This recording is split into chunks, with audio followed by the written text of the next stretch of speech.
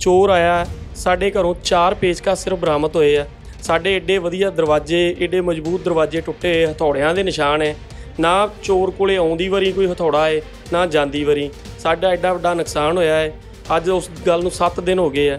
Police ਸਾਨੂੰ ਹੀ ਸਾਡੇ ਸਮਾਨ ਦਾ ਚੋਰ ਬਣਾ ਰਹੀ ਹੈ। ਸਾਡੇ ਘਰ ਦੀ ਉਲਟੀ ਤਲਾਸ਼ੀ ਲਈ ਜਾ ਰਹੀ ਹੈ। ਬਾਰ-ਬਾਰ ਆ ਕੇ ਸਾਡੀ ਹਰਾਸਮੈਂਟ ਕੀਤੀ ਜਾ ਰਹੀ ਹੈ। 45 ਮਿੰਟ ਦੇ ਵਿੱਚ ਇਹ ਵਾਰਦਾਤ ਨੂੰ ਅੰਜਾਮ ਦਿੱਤਾ। ਅਸੀਂ ਆਪਣੇ ਬਿਹਾਫ ਦੇ ਉੱਤੇ ਬਿਆਸ ਇਸ ਚੋਰ ਨੇ 14 ਤਰੀਕ ਵਿਸਾਖੀ ਵਾਲੇ ਦਿਨ ਇਸੇ ਤਰ੍ਹਾਂ ਦੀ ਹੀ ਸੇਮ ਘਟਨਾ ਨੂੰ ਅੰਜਾਮ ਦਿੱਤਾ। ਪੁਲਿਸ ਨੇ ਅੱਜ ਤੱਕ ਉੱਥੋਂ ਵੀ ਕੁਝ ਨਹੀਂ ਕੀਤਾ। ਜਾਣਕਾਰੀ ਦੇ ਨਾਲ ਜੀ ਇਹ ਕੰਮ ਹੋਇਆ ਲੱਗਦਾ ਹੈ। ਪਰ ਪੁਲਿਸ ਇਸ ਦਾ ਕੋਈ ਵੀ ਰਿਜ਼ਲਟ ਨਹੀਂ ਕੱਢ ਰਹੀ। ਅਸੀਂ ਜੋ ਵੀ ਆਪਣੇ ਸ਼ੱਕੀ ਨੰਬਰ ਸੀਗੇ, ਜੋ ਵੀ ਸਾਰਾ ਕੁਝ ਪੁਲਿਸ ਨੂੰ ਦਿੱਤਾ ਆ, ਪਰ ਪੁਲਿਸ ਨੇ ਅਜੇ ਤੱਕ ਕੋਈ ਕਾਰਵਾਈ ਨਹੀਂ ਕੀਤੀ। ਸ਼੍ਰੀਮਾਨ ਜੀ, ਕਾਰਵਾਈ ਤਫਤੀਸ਼ ਇੱਕ ਇੱਕ ਦਿਨਾਂ ਦਾ ਕੰਮ ਥੋੜੀ ਹੈ।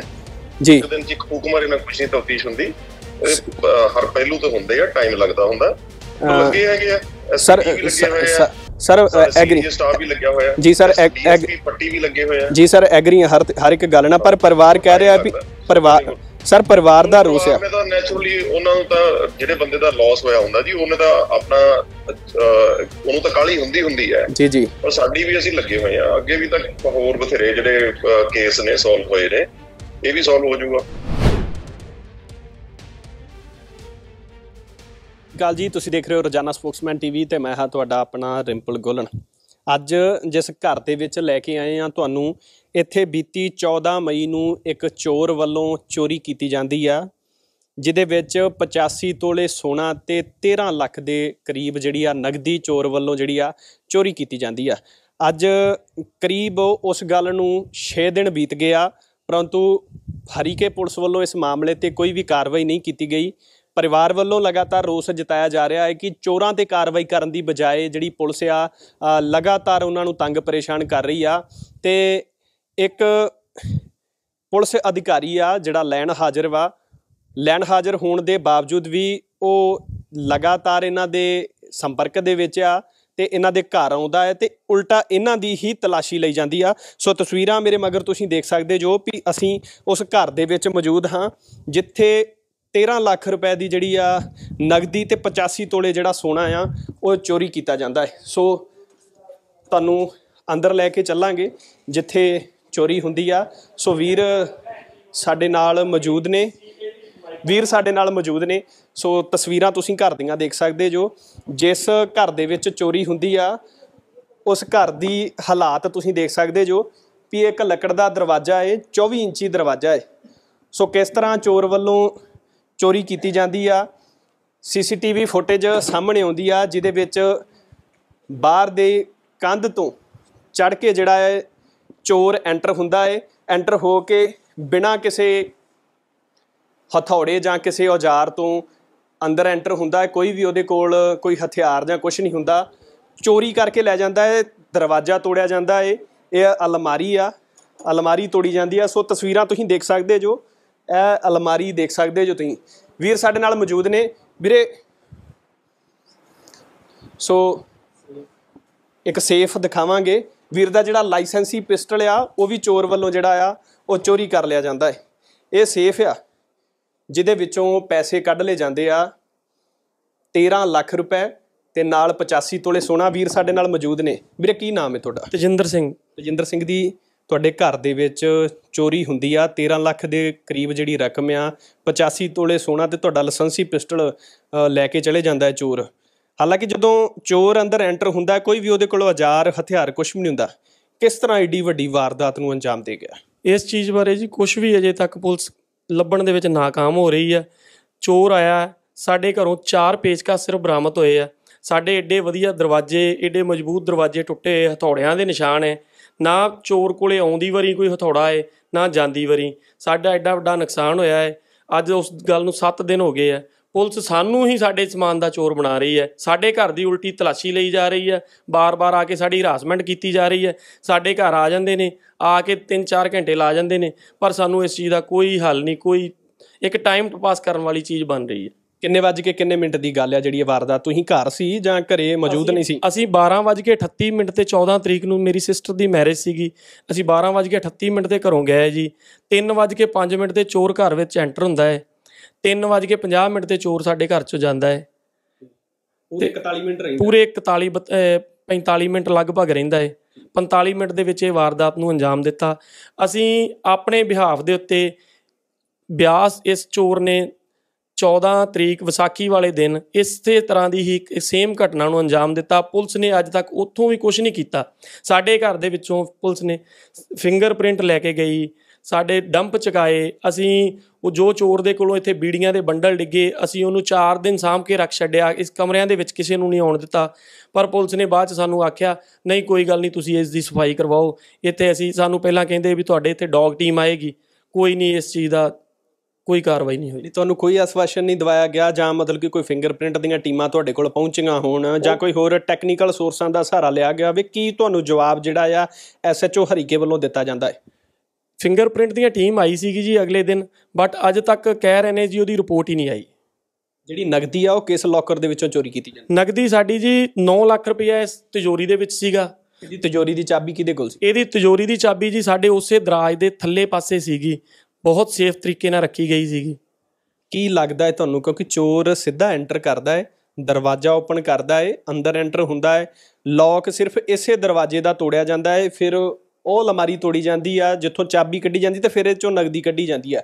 ਕੀ ਲੱਗਦਾ ਹੈ ਵੀ ਚੋਰ ਨੂੰ ਪੂਰੀ ਜਾਣਕਾਰੀ ਸੀ ਇਸ ਦੀ? ਪੂਰੀ ਜਾਣਕਾਰੀ ਦੇ ਨਾਲ ਜੀ ਇਹ ਕੰਮ ਹੋਇਆ ਲੱਗਦਾ ਹੈ। ਪਰ ਪੁਲਿਸ ਇਸ ਦਾ ਕੋਈ ਵੀ ਰਿਜ਼ਲਟ ਨਹੀਂ ਕੱਢ ਰਹੀ। ਅਸੀਂ ਜੋ ਵੀ ਆਪਣੇ ਸ਼ੱਕੀ ਨੰਬਰ ਸੀਗੇ ਜੋ ਵੀ ਸਾਰਾ ਕੁਝ ਪੁਲਿਸ ਨੂੰ ਦਿੱਤਾ ਆ ਪਰ ਪੁਲਿਸ ਨੇ ਅਜੇ ਤੱਕ ਕੋਈ ਕਾਰਵਾਈ ਨਹੀਂ ਕੀਤੀ। ਵੀਰ ਜੀ ਇੱਥੇ ਹੋਰ ਵੀ ਕਾਫੀ ਜਿਹੜੀਆਂ ਵਾਰਦਾਤਾਂ ਹੋਈਆਂ ਨੇ ਲੁੱਟ ਖੋਹ ਦੀਆਂ ਵਾਰਦਾਤਾਂ ਸਾਹਮਣੇ ਆ ਰਹੀਆਂ ਨੇ। ਕੀ ਲੱਗਦਾ ਹੈ ਤੁਹਾਨੂੰ ਵੀ ਪੁਲਿਸ ਦੀ ਢਿੱਲੀ ਕਾਰਜਕਾਰੀ ਹੈ? ਪੁਲਿਸ ਦੀ ਢਿੱਲੀ ਬਹੁਤ ਢਿੱਲੀ ਕਾਰਗੁਜ਼ਾਰੀ ਹੈ ਜੀ। ਕੱਲ ਮੈਂ ਐਸਆਈ ਸਤਨਾਮ ਸਿੰਘ ਨਾਲ ਫੋਨ ਤੇ ਗੱਲ ਕੀਤੀ ਸੀਗੀ। ਮੈਂ ਉਹਨਾਂ ਨੂੰ ਇਹ ਕਿਹਾ ਸੀਗਾ ਵੀ ਜੇਕਰ ਤੁਸੀਂ ਨਹੀਂ ਕੁਝ ਵੀ ਕਰ ਰਹੇ ਜਾਂ ਤੁਸੀਂ ਨਹੀਂ ਕਰ ਸਕਦੇ ਤੇ ਮੈਨੂੰ ਦੱਸੋ ਮੈਂ ਕੋਈ ਪ੍ਰੈਸ ਦਾ ਸਹਾਰਾ ਲਵਾਂ ਜਾਂ ਮੈਂ ਕੋਈ ਪ੍ਰਾਈਵੇਟ ਡਿਟੈਕਟਿਵਾਂ ਦਾ ਸਹਾਰਾ ਲਵਾਂ। ਉਹਨਾਂ ਕਿਹਾ ਜੀ ਜਿਸ ਤਰ੍ਹਾਂ ਤੁਹਾਨੂੰ ਚੰਗਾ ਲੱਗਦਾ ਕਰੋ ਤੁਸੀਂ ਮੈਨ ਐਸਐਚਓ ਸਾਹਿਬ ਨਾਲ ਗੱਲ ਕਰੋ। ਐਸਐਚਓ ਦਾ ਕੀ ਜਵਾਬ ਹੁੰਦਾ ਹੈ ਤੁਹਾਨੂੰ ਐਸਐਚਓ ਮੈਡਮ ਦਾ ਜਵਾਬ ਸੀਗਾ ਜੀ ਕੱਲ ਅਸੀਂ ਜੇ ਤੁਸੀਂ ਕਹਿੰਦੇ ਜੇ ਤੁਹਾਡੇ ਆਂਢ ਗੁਆਂਢ ਚੱਕ ਲੈਨੇ ਆ, ਮੈਂ ਕਿਹਾ ਜੀ ਚੱਕਣ ਇਹ ਚੁੱਕਣ ਦਾ ਮਸਲਾ ਨਹੀਂ, ਸਾਡਾ ਇੱਕ ਤਾਂ ਐਡਾ ਵੱਡਾ ਨੁਕਸਾਨ ਹੋਇਆ, ਇੱਕ ਤੁਸੀਂ ਸਾਡਾ ਆਂਢ ਆਂਢ ਗੁਆਂਢ ਵੈਰ ਪਵਾ ਦਿਓਗੇ, ਜੇਕਰ ਤੁਸੀਂ ਦੇਖੋ ਕੋਈ ਪੁਖਤਾ ਸਬੂਤ ਮਿਲਦੇ ਆ, ਤੇ ਤੁਸੀਂ ਜਿਹਦੇ ਤੇ ਵੀ ਚਾਹੇ ਸਾਡਾ ਕੋਈ ਵੀ ਆ, ਉਹਦੇ ਤੇ ਕਾਰਵਾਈ ਕਰੋ, ਤੇ ਉਹ ਕਹਿੰਦੇ ਸੀ ਸਵੇਰੇ ਅਸੀਂ 9 ਵਜੇ ਤੁਹਾਡੇ ਕੋਲੇ ਆ ਜਾਾਂਗੇ, ਤੇ ਪਰ ਅੱਜ ਮੰਤਰੀ ਸਾਹਿਬ ਆਉਣ ਕਾਰਨ ਆਂਦੇ ਵੀ ਐਸਐਚਓ ਮੈਡਮ ਕੋਲੇ ਟਾਈਮ ਹੀ ਹੈ ਨਹੀਂ। ਘਰ ਦੇ ਵਿੱਚ ਚੋਰ ਦਾਖਲ ਹੁੰਦਾ ਹੈ। ਵਾਰਦਾਤ ਨੂੰ ਅੰਜਾਮ ਦੇ ਕੇ ਕਰੀਬ 45 ਮਿੰਟ ਰੁਕਦਾ ਹੈ, ਮੁੜ ਕੇ ਨਿਕਲ ਜਾਂਦਾ ਹੈ। ਜਿਹੜਾ ਲਫਾਫਾ ਉਹਦੇ ਵੱਲੋਂ ਚੁੱਕਿਆ ਜਾਂਦਾ ਹੈ ਜਾਂ ਜਿਹੜੀ ਗਠੜੀ ਉਹਦੇ ਵੱਲੋਂ ਫੜੀ ਜਾਂਦੀ, ਕੋਈ ਏਡਾ ਵਜਨ ਨਹੀਂ ਕਿਉਂਕਿ 850 ਗ੍ਰਾਮ ਸੋਨਾ ਵਿੱਚ ਜਿਹੜਾ ਪਿਸਟਲ ਸੀਗਾ, ਕਰੀਬ 1 ਕਿਲੋ ਤੋਂ ਉੱਪਰ ਵਜਨ ਬਣਨਾ ਸੀਗਾ। ਪੈਸੇ ਵੀ 13 ਲੱਖ ਰੁਪਏ ਕੋਈ ਥੋੜੇ ਨਹੀਂ ਆ। ਪਰ ਕਿਤੇ ਨਾ ਕਿਤੇ ਜਿਵੇਂ ਮੰਨ ਲਓ ਥੋੜਿਆਂ ਦੇ ਨਾਲ ਭੰਨ ਤੋੜ ਕੀਤੀ ਗਈ ਆ ਲੱਗਦਾ। ਇਹ ਔਜ਼ਾਰ ਲੱਭੇ ਨਹੀਂ ਤੁਹਾਨੂੰ ਘਰੇ? ਨਹੀਂ ਜੀ ਕੋਈ ਔਜ਼ਾਰ ਨਹੀਂ ਲੱਭੇ। ਅਸੀਂ ਪੁਲਿਸ ਨੂੰ ਇਹ ਆਪਣੇ ਤੌਰ ਦੇ ਉੱਤੇ ਇਨਵੈਸਟੀਗੇਸ਼ਨ ਕਰਕੇ ਅਸੀਂ ਕਲੂ ਦਿੱਤੇ ਨੇ ਵੀ ਆ ਵੀ ਕੁਝ ਹੋ ਸਕਦਾ। ਪਰ ਉਹਦੇ ਉੱਤੇ ਵੀ ਅਜੇ ਤੱਕ ਕੋਈ ਸਾਨੂੰ ਕਾਰਵਾਈ ਨਹੀਂ ਮਿਲੀ। ਕੋਈ ਸ਼ੱਕ ਦਾ ਬੇਸ ਪ੍ਰਗਟ ਕੀਤਾ ਗਿਆ ਹੋਵੇ ਤੁਹਾਡੇ ਵੱਲੋਂ? ਅਸੀਂ ਸ਼ੱਕ ਦਾ ਬੇਸ ਪ੍ਰਗਟ ਕੀਤਾ ਸੀ। ਅਸੀਂ ਕਿਹਾ ਸੀ ਵੀ ਹੋ ਸਕਦਾ ਹੈ। ਇਹ ਬੰਦਾ ਦੂਸਰੇ ਬੰਦੇ ਇਸ ਤਰੀਕੇ ਨਾਲ ਐਂਟਰ ਕੀਤੇ ਹੋਣ। ਉਹ ਬਣ ਵੀ ਸਕਦਾ ਪਰ ਉਸ ਚੀਜ਼ ਦੇ ਉੱਤੇ ਅਜੇ ਤੱਕ ਕੋਈ ਕਾਰਵਾਈ ਨਹੀਂ ਹੋਈ। ਮਲਕੀ ਪੂਰਾ ਜਿਹੜਾ ਤੁਹਾਡੇ ਵੱਲੋਂ ਪੱਲਾ ਜਿਹੜਾ ਹੈ ਐਸਐਚਓ ਵੱਲੋਂ ਝਾੜ ਦਿੱਤਾ ਗਿਆ। ਕੋਈ ਵੀ ਤੁਹਾਡੀ ਠੋਸ ਕਾਰਵਾਈ ਕਿਉਂਕਿ ਇਹ ਇੱਕ ਬੜੀ ਵੱਡੀ ਵਾਰਦਾਤ ਆ ਜਿਹੜੀ ਹਰੀਕੇ ਦੇ ਵਿੱਚ ਹੋਈ ਆ। ਐਸਐਚਓ ਮੈਡਮ ਨੂੰ ਕੱਲ ਗਿਆ ਸੀਗਾ ਮੈਂ ਉਹਨਾਂ ਨੂੰ ਇਹ ਗੱਲ ਕਹੀ ਸੀਗੀ ਬਈ ਫਿਰ ਇਹਦਾ ਤੇ ਇਹੀ ਕਹਿ ਸਕਦੇ ਆ ਵੀ ਆਪਾਂ ਨੂੰ ਆਪਣੇ ਬੱਚੇ ਪੜਾਉਣੇ ਨਹੀਂ ਚਾਹੀਦੇ ਇੱਕ ਚੋਰ ਬਣਾਉਣੇ ਚਾਹੀਦੇ ਕਿਉਂਕਿ ਪੁਲਿਸ ਚੋਰ ਨੂੰ ਫੜ ਨਹੀਂ ਸਕਦੀ। ਤੇ ਸਾਡੀ ਪਿਓ ਪੁੱਤਰਾਂ ਦੀ ਪੂੰਜੀ ਸਾਰੀ ਉਮਰ ਦੀ ਕਮਾਈ ਇੱਕ ਬੰਦਾ 30 ਮਿੰਟ ਦੇ ਵਿੱਚ ਲੈ ਗਿਆ। ਤੇ ਇਹਦਾ ਮਤਲਬ ਹੈ ਵੀ ਚੋਰ ਹੀ ਬੰਨਾ ਬੱਚਿਆਂ ਵਾਸਤੇ ਵਧੀਆ ਚੀਜ਼ ਹੈ ਕਿਉਂਕਿ ਪੁਲਿਸ ਕੋਈ ਕਾਰਵਾਈ ਨਹੀਂ ਕਰਦੀ ਤੇ ਮਿਹਨਤ ਕਰਨਾ ਕੋਈ ਵਧੀਆ ਗੱਲ ਨਹੀਂ ਇੰਨੋਂ ਚੰਗਾ ਵੀ ਚੋਰ ਹੀ ਬਣੋ। ਕੀ ਬਿਜ਼ਨਸ ਕਰਦੇ ਜੋ? ਮੇਰਾ ਹੀ ਡੇਰੀ ਦਾ ਤੇ ਸੁਨਿਆਰੇ ਦੀ ਦੁਕਾਨ ਸਾਡੀ ਜੁਐਲਰੀ ਸ਼ਾਪ ਹੈ ਜੀ।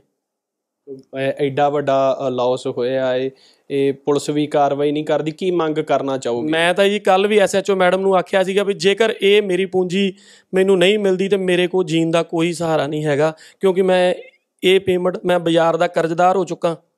ਤੇ ਮੇਰੇ ਕੋਲੇ ਹੁਣ ਕੋਈ ਵੀ ਹੋਰ ਸ- ਹੈ ਨਹੀਂ। ਕੋਈ ਹੋਰ ਆਪਸ਼ਨ ਨਹੀਂ ਬਚਿਆ Option ਵੀ ਹੈ ਪਿੱਛੇ ਨਹੀਂ ਕਿਉਂਕਿ। ਸਾਰੀ ਉਮਰ ਦੀ ਪੂੰਜੀ ਹੁਣ ਇਹੀ ਮੇਰੇ ਸੀ। ਕੋਲੇ ਕੋਈ ਆਪਸ਼ਨ ਹੀ ਹੈ ਨਹੀਂ ਜੀ ਮੈਂ ਕੋਈ ਬਾਜ਼ਾਰ ਦੇ ਵਿੱਚ ਕੰਮ ਕਰ ਸਕਾਂ ਜਾਂ ਮੈਂ ਆਪਣੀ ਜ਼ਿੰਦਗੀ ਅੱਗੇ ਆਪਣੇ ਬੱਚਿਆਂ ਦੀ ਵਧਾ ਸਕਾਂ। ਇੱਕ ਜਿਹੜੇ ਇਹ ਪੁਲਿਸ ਅਧਿਕਾਰੀ ਤੁਹਾਡੇ ਬਰੀਜਾ ਗੱਡੀ ਤੇ ਐਂਟਰ ਕਰਦੇ ਨੇ ਜਿਵੇਂ ਤੁਸੀਂ ਕਹਿੰਦੇ ਜੋ ਵੀ ਸਾਨੂੰ ਉਲਟਾ ਟਾਰਗੇਟ ਕਰਕੇ ਜਿਹੜਾ ਸਾਡੀ ਘਰ ਦੀ ਤਲਾਸ਼ੀ ਲਈ ਜਾਂਦੀ ਆ ਉਹ ਕਿਹੜੇ ਨੇ ਜਿਹੜੇ ਉਹਨਾਂ ਦਾ ਕੋਈ ਨਾਮ ਪਤਾ ਤੁਹਾਨੂੰ? ਹਾਂਜੀ ਅੱਜ ਸਵੇਰੇ ਜੀ ਗੁਰਪੇਜ ਸਿੰਘ ਜੀ ਆਏ ਸੀਗੇ।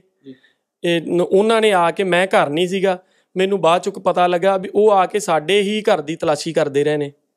ਦੱਸੋ ਜੀ ਇੱਕ ਤਾਂ ਸਾਡਾ ਨੁਕਸਾਨ ਹੋਇਆ ਇੱਕ ਅਸੀਂ ਹੀ ਸਾਡੇ ਨੁਕਸਾਨ ਦੇ ਚੋਰ। ਇੱਕ ਉਲਟਾ ਸਾਨੂੰ ਐਡਾ ਵੱਡਾ ਦੁੱਖ ਲੱਗਾ, ਇੱਕ ਸਾਨੂੰ ਇਸੇ ਚੀਜ਼ ਦਾ ਹੋਰ ਉਲਟਾ ਸਾਨੂੰ ਹਰਾਸਮੈਂਟ ਕਰ ਰਹੇ ਨੇ। ਪੁਲਿਸ ਸਾਨੂੰ ਹੀ ਸਾਡੇ ਨੁਕਸਾਨ ਦੀ ਚੋਰ ਬਣਾ ਰਹੀ ਹੈ। ਸੋ ਇਹ ਸਨ ਪੀੜਤ ਪਰਿਵਾਰ ਜਿਨ੍ਹਾਂ ਵੱਲੋਂ ਕਿਹਾ ਜਾ ਰਿਹਾ ਵੀ ਸਾਰੀ ਉਮਰ ਦੀ ਪਿਓ ਪੁੱਤ ਦੀ ਪੂੰਜੀ ਆ ਜਿਹੜੀ ਆ, ਇੱਕ ਚੋਰ 45 ਮਿੰਟਾਂ ਦੇ ਵਿੱਚ ਲੁੱਟ ਕੇ ਲੈ ਜਾਂਦਾ ਏ। ਅੱਜ ਇਸ ਗੱਲ ਨੂੰ 6 ਤੋਂ 7 ਦਿਨ ਵੇਚ ਚੁੱਕੇ ਨੇ, ਪਰੰਤੂ ਥਾਣਾ ਹਰੀਕੇ ਦੀ ਪੁਲਿਸ ਵੱਲੋਂ ਐਸਐਚਓ ਮੈਡਮ ਸੁਨੀਤਾ ਵੱਲੋਂ ਕੋਈ ਵੀ ਇਸ ਮਾਮਲੇ ਤੇ ਕਾਰਵਾਈ ਨਹੀਂ ਕੀਤੀ ਜਾਂਦੀ। ਹਾਲਾਂਕਿ ਜੇਕਰ ਪਰਿਵਾਰ ਦੀ ਗੱਲ ਕਰੀਏ ਤਾਂ ਪਰਿਵਾਰ ਵੱਲੋਂ ਜਿਹੜਾ ਪ੍ਰਸ਼ਾਸਨ ਤੇ ਰੋਸ ਵੀ ਜਤਾਇਆ ਜਾ ਰਿਹਾ ਹੈ ਕਿ ਚੋਰ ਨੂੰ ਫੜਨ ਦੀ ਬਜਾਏ ਟੈਕਨੀਕਲ ਸੋਰਸਾਂ ਦਾ ਸਹਾਰਾ ਲੈਣ ਦੀ ਬਜਾਏ ਜਿਹੜਾ ਪਰਿਵਾਰ ਨੂੰ ਲਗਾਤਾਰ ਹੀ ਤਾੜਿਆ ਜਾ ਰਿਹਾ ਹੈ ਤੇ ਉਲਟਾ ਹੀ ਇਹਨਾਂ ਦੇ ਘਰ ਦੀ ਹੀ ਆ ਕੇ ਜਿਹੜੀ ਆ ਤਲਾਸ਼ੀ ਲਈ ਜਾ ਰਹੀ ਆ। ਸੋ ਇਹ ਵੀ ਇੱਕ ਪ੍ਰਸ਼ਾਸਨ ਦੇ ਉੱਤੇ ਵੱਡਾ ਸਵਾਲ ਹੈ ਕਿ ਇੱਕ ਚੋਰ ਸਾਰੀ ਉਮਰ ਦੀ ਉਹਨਾਂ ਦੀ ਪੂੰਜੀ ਲੈ ਗਿਆ ਹੈ ਤੇ ਪ੍ਰਸ਼ਾਸਨ ਉਸ ਚੋਰ ਨੂੰ ਫੜਨ ਦੀ ਬਜਾਏ ਇਹਨਾਂ ਨੂੰ ਹੀ ਜਿਹੜਾ ਤੰਗ ਪਰੇਸ਼ਾਨ ਕੀਤਾ ਜਾ ਰਿਹਾ ਹੈ। ਸੋ ਵੀਰ ਵੱਲੋਂ ਲਗਾਤਾਰ ਹੀ ਪ੍ਰਸ਼ਾਸਨ ਤੋਂ ਮੰਗ ਕੀਤੀ ਜਾ ਰਹੀ ਆ ਵੀ ਉਸ ਦਾ ਜਿਹੜੀ ਆ ਸਾਰੀ ਉਮਰ ਦੀ ਪੂੰਜੀ ਆ, ਚੋਰ ਨੂੰ ਫੜ ਕੇ ਵਾਪਸ ਦਵਾਈ ਜਾਵੇ। ਨਹੀਂ ਤਾਂ ਆਖਰੀ ਹੱਲ ਉਹਦੇ ਕੋਲ ਕੋਈ ਵੀ ਨਹੀਂ ਹੈਗਾ। ਉਹ ਉਹ ਜਿਹੜੀ ਆਪਣੀ ਜੀਵਨ ਲੀਲਾ ਸਮਾਪਤ ਕਰਨ ਨੂੰ ਜਿਵੇਂ ਵੀਰ ਦੇ ਬੋਲ ਸੀਗੇ, ਵੀ ਆਪਦੀ ਜੀਵਨ ਲੀਲਾ ਵੀ ਸਮਾਪਤ ਕਰ ਸਕਦੇ ਆ। ਸੋ ਪ੍ਰਸ਼ਾਸਨ ਨਾਲ ਵੀ ਇਸ ਮਾਮਲੇ ਸੰਬੰਧੀ ਗੱਲਬਾਤ ਕਰਾਂਗੇ ਵੀ ਉਹਨਾਂ ਦਾ ਕੀ ਕਹਿਣਾ ਹੈ। ਤੁਸੀਂ ਮੇਰੇ ਪਿੱਛੇ ਤਸਵੀਰਾਂ ਦੇਖ ਸਕਦੇ ਜੋ ਵੀ ਥਾਣਾ ਹਰੀਕੇ ਦੇ ਵਿੱਚ ਮੌਜੂਦ ਹਾਂ। ਜਿੱਥੇ ਕਿ ਕਰੀਬ 14 ਮਈ ਨੂੰ 3 ਵਜੇ ਦੇ ਕਰੀਬ ਜਿਹੜੀ ਆ 85 ਤੋਲੇ ਸੋਨਾ 13 ਲੱਖ ਦੇ ਤਕਰੀਬਨ ਜਿਹੜੀ ਆ ਨਗਦੀ ਰਕਮ ਤੇ ਇੱਕ ਲਾਇਸੈਂਸੀ ਪਿਸਟਲ ਜਿਹੜਾ ਆ ਉਹ ਚੋਰੀ ਕਰ ਲਿਆ ਜਾਂਦਾ ਇੱਕ ਚੋਰ ਵੱਲੋਂ। ਕਰੀਬ 6 ਦਿਨ ਬੀਤ ਗਿਆ ਪਰ ਪੁਲਿਸ ਵੱਲੋਂ ਕੋਈ ਕਾਰਵਾਈ ਨਹੀਂ ਕੀਤੀ ਗਈ। ਇਸ ਮਾਮਲੇ ਸੰਬੰਧੀ ਥਾਣਾ ਹਰੀਕੇ ਦੇ ਵਿੱਚ ਪਹੁੰਚ ਕੀਤੀ ਗਈ ਆ। ਐਸਐਚਓ ਮੈਡਮ ਦੇ ਨਾਲ ਗੱਲਬਾਤ ਕਰਨ ਦੀ ਜਿਹੜੀ ਕੋਸ਼ਿਸ਼ ਕੀਤੀ ਜਾਣੀ ਸੀ, ਪਰ ਜਦੋਂ ਮੈਡਮ ਨੂੰ ਪਤਾ ਲੱਗਾ ਵੀ ਮੀਡੀਆ ਕਰਮੀ ਇੱਥੇ ਆਏ ਆ, ਤਾਂ ਮੈਡਮ ਭੌਂਦੇ ਪੈਰੀ ਹੀ ਜਿਹੜਾ ਆ, ਪਿੱਛੇ ਮੁੜ ਗਏ ਆ। ਸੋ ਇਹ ਵੀ ਇੱਕ ਵੱਡਾ ਸਵਾਲ ਆ ਵੀ ਮੀਡੀਆ ਨੂੰ ਬਰੀਫ ਨਾ ਕਰਨਾ ਵੀ ਕਿਤੇ ਨਾ ਕਿਤੇ ਜਿਹੜਾ ਪੁਲਿਸ ਨੂੰ ਸ਼ੱਕ ਦੇ ਘੇਰੇ ਦੇ ਵਿੱਚ ਲਿਆਉਂਦਾ ਵਾ, ਕਿਉਂਕਿ ਪੁਲਿਸ ਵੱਲੋਂ ਜਿਹੜੀ ਢਿੱਲੀ ਕਾਰਜੁਗਾਰੀ ਕੀਤੀ ਜਾ ਰਹੀ ਆ ਉਸ ਨੂੰ ਲੈ ਕੇ ਇਲਾਕੇ ਦੇ ਵਿੱਚ ਜਿਹੜੀਆਂ ਵੱਡੀਆਂ ਘਟਨਾਵਾਂ ਨੇ ਉਹ ਹੋਰ ਵਾਪਰ ਰਹੀਆਂ ਨੇ ਲੁੱਟ ਖੋਹ ਦੀਆਂ ਘਟਨਾਵਾਂ ਲਗਾਤਾਰ ਹੀ ਵਾਪਰ ਰਹੀਆਂ ਨੇ ਪਰ ਥਾਣਾ ਹਰੀਕੇ ਦੀ ਪੁਲਿਸ ਵੱਲੋਂ ਕੋਈ ਵੀ ਇਸ ਮਾਮਲੇ ਤੇ ਕਾਰਵਾਈ ਨਹੀਂ ਕੀਤੀ ਜਾ ਰਹੀ ਹੈ। ਸੋ ਇਸ ਮਾਮਲੇ ਸੰਬੰਧੀ ਐਸਐਸਪੀ ਤਰਨਤਾਰਨ ਨਾਲ ਗੱਲ ਕਰਨ ਦੀ ਜਿਹੜੀ ਆ ਕੋਸ਼ਿਸ਼ ਕਰਾਂਗੇ। ਹਲੋ। ਐਸਐਸਪੀ ਸਾਹਿਬ ਤਰਨਤਾਰਨ ਸਰਦਾਰ ਗੁਰਮੀਤ ਸਿੰਘ ਚੌਹਾਨ ਜੀ ਗੱਲ ਕਰ ਰਹੇ। ਜੀ। ਸਰ ਪੱਤਰਕਾਰ ਗੱਲ ਕਰ ਰਹੇ ਰਿੰਪਲ ਰੋਜ਼ਾਨਾ ਸਪੋਕਸਮੈਨ ਟੀਵੀ ਤੋਂ। ਜੀ। ਸਰ ਥਾਣਾ ਹਰੀਕੇ ਦੇ ਵਿੱਚ ਮੌਜੂਦ ਆ ਇੱਕ 14 ਤਰੀਕ ਦੀ ਇੱਕ ਘਟਨਾ ਹੈ ਜਿਹਦੇ ਵਿੱਚ 65 ਲੱਖ ਰੁਪਏ ਦੀ ਚੋਰੀ ਹੁੰਦੀ ਆ। 13 ਲੱਖ ਰੁਪਏ ਨਗਦੀ ਤੇ ਕਰੀਬ 85 ਤੋਲੇ ਸੋਨਾ ਤੇ ਇੱਕ ਜਿਹੜਾ ਸਰ ਰਿੰਪਲ ਬੋਲ ਰਿਹਾ ਪੱਤਰਕਾਰ ਰੋਜ਼ਾਨਾ ਸਪੋਕਸਮੈਨ ਟੀਵੀ ਤੋਂ। ਅੱਛਾ ਹਾਂ ਦੱਸੋ। ਹਾਂਜੀ। ਸਰ ਇਹ ਇਸ ਤਰ੍ਹਾਂ ਹੈ ਵੀ 65 ਲੱਖ ਰੁਪਏ ਦੀ ਚੋਰੀ ਹੁੰਦੀ ਆ 85 ਤੋਲੇ ਸੋਨਾ 13 ਲੱਖ ਰੁਪਏ ਨਗਦੀ ਤੇ ਇੱਕ ਲਾਇਸੈਂਸੀ ਪਿਸਟਲ ਚੋਰੀ ਹੁੰਦਾ ਹੈ। ਜੀ। ਪਰਿਵਾਰ ਦਾ ਇਹ ਇਲਜ਼ਾਮ ਆ ਵੀ ਪੁਲਿਸ ਵੱਲੋਂ ਲਗਾਤਾਰ ਚੋਰ ਫੜਨ ਦੀ ਬਜਾਏ ਉਹਨਾਂ ਨੂੰ ਟੌਰਚਰ ਕੀਤਾ ਜਾ ਰਿਹਾ ਹੈ। ਇੱਕ ਤੁਹਾਡਾ ਮੁਲਾਜ਼ਮ ਹੈ ਕੋਈ ਮੁਖਵਿੰਦਰ ਸਿੰਘ ਜਿਹੜੇ ਕਿ ਇਸ ਟਾਈਮ ਲੈਣ ਹਾਜ਼ਰ ਨੇ ਲਾਈਨ ਦੇ ਵਿੱਚ ਨੇ। ਪਰ ਉਹਨਾਂ ਵੱਲੋਂ ਜਾ ਕੇ ਜਿਹੜੀ ਆ ਤਫਤੀਸ਼ ਕੀਤੀ ਜਾ ਰਹੀ ਆ ਉਹ ਵੀ ਐਸਐਚਓ ਮੈਡਮ ਦੇ ਕਹਿਣ ਤੇ ਥਾਣਾ ਹਰੀਕੇ ਦੀ ਮੈਡਮ ਦੇ ਕਹਿਣ ਤੇ। ਮਖਵਿੰਦਰ ਸਿੰਘ ਕੌਣ ਹੈ ਜੀ? ਮੁਖਵਿੰਦਰ ਸਿੰਘ ਜਿਹੜੇ ਥਾਣਾ ਕੱਚਾ ਪੱਕਾ ਵਿਖੇ ਬਤੌਰ ਐਸਐਚਓ ਰਹੇ ਨੇ। ਅੱਛਾ ਮੈਨੂੰ ਨਹੀਂ ਮੇਰੇ ਨੌਲੇਜ ਨਹੀਂ ਮੈਂ ਚੈੱਕ ਕਰ ਲੈਣਾ ਕਿਉਂ ਸਰ ਸਰ ਦੇਖੋ ਦੇਖੋ ਇੱਕ ਐਸਐਚਓ ਰੈਂਕ ਦੀ ਮੈਡਮ ਹੈ ਅਸੀਂ ਆਏ ਆ ਵੀ ਸਾਨੂੰ ਮੈਡਮ ਬਰੀਫ ਕਰ ਦਿਓ ਪਰ ਜਦੋਂ ਮੈਡਮ ਨੂੰ ਪਤਾ ਲੱਗਾ ਵੀ ਮੀਡੀਆ ਕਰਮੀ ਖਲੋਤੇ ਨੇ ਇਹ ਬਹਾਨਾ ਬਣਾਇਆ ਗਿਆ ਵੀ ਅਸੀਂ ਮੀਟਿੰਗ ਤੇ ਜਾ ਰਹੇ ਆ ਸੋ ਮੈਡਮ ਇੱਥੋਂ ਆਪਦੀ ਗੱਡੀ ਲੈ ਕੇ ਰਵਾਨਾ ਹੋ ਜਾਂਦੇ ਨੇ। ਸਰ ਕਿਤੇ ਨਾ ਕਿਤੇ ਢਿੱਲੀ ਕਾਰਜਕਾਰੀ ਵੀ ਸਰ ਪੁਲਿਸ ਤੇ ਸਵਾਲ ਖੜੀ ਕਰਦੀ ਹੈ ਵੀ ਕਾਰਵਾਈ ਨਾ ਕਰਨਾ। ਸ਼੍ਰੀਮਾਨ ਜੀ ਕਾਰਵਾਈ ਤਫਤੀਸ਼ ਇੱਕ ਇੱਕ ਦਿਨਾਂ ਦਾ ਕੰਮ ਥੋੜੀ ਹੈ। ਜੀ। ਇੱਕ ਦਿਨ ਚ ਇੱਕ ਹੁਕਮਾਰੇ ਨਾਲ ਕੁਝ ਨਹੀਂ ਤਫਤੀਸ਼ ਹੁੰਦੀ। ਹਰ ਪਹਿਲੂ ਤੇ ਹੁੰਦੇ ਆ ਟਾਈਮ ਲੱਗਦਾ ਹੁੰਦਾ। ਲੱਗੇ ਹੈਗੇ ਆ ਸਰ ਸਰ ਐਗਰੀ ਸਟਾਫ ਵੀ ਲੱਗਿਆ ਹੋਇਆ। ਜੀ ਸਰ, ਪੱਟੀ ਵੀ ਲੱਗੇ ਹੋਏ ਆ। ਜੀ ਸਰ ਐਗਰੀ ਹਰ ਹਰ ਇੱਕ ਗੱਲ ਨਾਲ ਪਰ ਪਰਿਵਾਰ ਕਹਿ ਰਿਹਾ ਵੀ ਪਰਿਵਾਰ ਸਰ ਪਰਿਵਾਰ ਦਾ ਰੋਸ ਆ। ਮੈਂ ਤਾਂ ਨੈਚੁਰਲੀ ਉਹਨਾਂ ਨੂੰ ਤਾਂ ਜਿਹੜੇ ਬੰਦੇ ਦਾ ਲਾਸ ਹੋਇਆ ਹੁੰਦਾ ਜੀ ਉਹਨੇ ਤਾਂ ਆਪਣਾ ਉਹਨੂੰ ਤਾਂ ਕਾਲੀ ਹੁੰਦੀ ਹੁੰਦੀ ਹੈ। ਜੀ ਜੀ। ਪਰ ਸਾਡੀ ਵੀ ਅਸੀਂ ਲੱਗੇ ਹੋਏ ਆ। ਅੱਗੇ ਵੀ ਤਾਂ ਹੋਰ ਬਥੇਰੇ ਜਿਹੜੇ ਕੇਸ ਨੇ ਸੋਲਵ ਹੋਏ ਨੇ। ਇਹ ਵੀ ਸੋਲਵ ਹੋ ਜਾਊਗਾ। ਸਰ ਉਸ ਤੋਂ ਬਾਅਦ ਉਸ ਤੋਂ ਬਾਅਦ ਵੀ ਸਰ ਇਸ ਘਟਨਾ ਤੋਂ ਬਾਅਦ ਵੀ ਇਲਾਕੇ ਦੇ ਵਿੱਚ ਹੋਰ ਕਾਫੀ ਘਟਨਾਵਾਂ ਵਾਪਰੀਆਂ ਲੁੱਟ ਖੋਹ ਦੀਆਂ ਪਰ ਕਾਰਵਾਈ ਉਹਦੇ ਤੇ ਵੀ ਕੋਈ ਨਹੀਂ ਕੀਤੀ ਗਈ। ਹੋ ਰਹੀ ਹੈ ਹੋਰ ਕਿਹੜੀ ਹੈ ਜੀ? ਸਪੈਸੀਫਾਈ ਕਰੋ। ਉਹ ਸਰ ਇੱਕ ਲੁੱਟ ਖੋਹ ਦੀ ਵਾਰਦਾਤ ਨਬੀਪੁਰ ਵਾਪਰੀ ਆ ਸਰ। ਓਕੇ ਜੀ ਜੀ। So sir SHO madam crime police police ਕਾਦੇ ਵਾਸਤੇ? ਕ੍ਰਾਈਮ ਵਾਸਤੇ ਹੀ ਹੈ ਰੋਕਣ ਵਾਸਤੇ ਹੀ ਹੈ ਤੇ ਲੱਭਣ ਵਾਸਤੇ ਹੈ। ਸਰ ਹੋ ਗਿਆ ਉੱਥੇ ਲੱਭ ਲਾਂਗੇ ਮੈਂ ਤੁਹਾਡੀ ਗੱਲ ਨਾਲ ਮੈਂ ਮੈਂ ਮੈਂ ਤੁਹਾਡੀ ਗੱਲ ਨਾਲ ਸਹਿਮਤ ਹਾਂ ਪਰ ਪਰਿਵਾਰ ਕਹਿ ਰਿਹਾ ਵੀ ਮੇਰੇ ਕੋਲ ਮਰਨ ਤੋਂ ਸਿਵਾਏ ਹੋਰ ਕੋਈ ਨਹੀਂ ਹੈਗਾ ਕਿਉਂਕਿ ਮੇਰੀ ਸਾਰੀ ਉਮਰ ਦੀ ਪੂੰਜੀ ਸੀਗੀ ਉਹ। ਚਲੋ ਇਹਨਾਂ ਦੀ ਆਪਣੀ ਵੀ ਤੇ ਕਈ ਵਾਰੀ ਕੋਈ 100 ਕਿਸ ਤਰ੍ਹਾਂ ਦੀਆਂ ਹੁੰਦੀਆਂ ਨੇ ਅਣਗਹਿਲੀ ਹੁੰਦੀ ਆ ਉੱਥੇ ਛੱਡ ਕੇ ਜਾਣਾ ਹੈ ਜਾਣਾ ਉਹ ਵੀ ਤਾਂ ਮਤਲਬ ਦੇਖਣ ਵਾਲੀ ਗੱਲ ਹੈ ਨਾ ਇੰਨੀ ਇੰਨੀ ਕੈਸ਼ ਇੰਨੀ ਜੁਐਲਰੀ ਜੀ ਜੀ। ਆਪਣਾ ਸੇਫ ਸੇਫ ਕਸਟਡੀ 'ਚ ਰੱਖਣਾ ਚਾਹੀਦਾ ਸੀ। ਜੀ ਜੀ। ਚਲੋ ਐਨੀਵੇਜ਼ ਉਹਦਾ ਬਿਸਾਈਡਸ ਦਾ ਪੁਆਇੰਟ ਹੈ ਕੈਮਰੇ ਹੋਣੇ ਚਾਹੀਦੇ ਆ ਹੋਰ ਹੈ ਕੁਝ ਵੀ ਨਹੀਂ ਹੈ ਨਾ। ਜੀ ਜੀ ਜੋ ਜਿੰਨੀ ਕੰਮ ਕਰਨੇ ਆ ਅਸੀਂ ਕਰੀ ਜਾ ਰਹੇ ਆ ਇੱਕ ਇੱਕ ਹੋਰ ਇੱਕ ਹੋਰ ਗੱਲ ਹੈ ਸਰ ਤੁਹਾਡੇ ਮੈਡਮ ਐਸਐਚਓ ਦੀ ਨਾ ਇੱਕ ਪ੍ਰੈਸ ਪ੍ਰਤੀ ਲੈਂਗੁਏਜ ਬਹੁਤ ਰਫ ਹੈ ਕੋਈ ਗੱਲ ਨਹੀਂ ਉਹ ਮੈਂ ਕਰੈਕਟ ਕਰਾ ਦੂੰਗਾ ਜੇ ਕੋਈ। ਇਸ ਤਰ੍ਹਾਂ ਦੀ ਗੱਲ ਹੈਗੀ। ਜੀ ਸਰ ਧੰਨਵਾਦ। ਧੰਨਵਾਦ ਸਰ ਸੋ ਦੇਖਿਆ ਤੁਸੀਂ ਵੀ ਐਸਐਸਪੀ ਗੁਰਮੀਤ ਸਿੰਘ ਚੌਹਾਨ ਜੀ ਨੇ ਆਸ਼ਵਾਸਨ ਦਿਵਾਇਆ ਵੀ ਜਿਹੜਾ ਪੁਲਿਸ ਵੱਲੋਂ ਇਸ ਮਾਮਲੇ ਤੇ ਕਾਰਵਾਈ ਕੀਤੀ ਜਾ ਰਹੀ ਆ ਤੇ ਜਿਹੜਾ ਅ, ਇੱਕ ਕ੍ਰਾਈਮ ਜਿਹੜਾ ਹੋਇਆ ਵਾ ਜਾਂ ਉਹਦੇ ਤੋਂ ਬਾਅਦ ਹੋਰ ਕ੍ਰਾਈਮ ਹੋਇਆ ਉਹਨੂੰ ਜਿਹੜਾ ਜਲਦ ਹੀ ਟਰੇਸ ਕਰ ਲਿਆ ਜਾਵੇਗਾ। ਖੇਮਕਰਨ ਤੋਂ ਕੈਮਰਾਮੈਨ ਲਖਵਿੰਦਰ ਸਿੰਘ ਗੋਲਨ ਨਾਲ ਰਿੰਪਲ ਗੋਲਨ ਰੋਜ਼ਾਨਾ ਸਪੋਕਸਮੈਨ ਟੀਵੀ।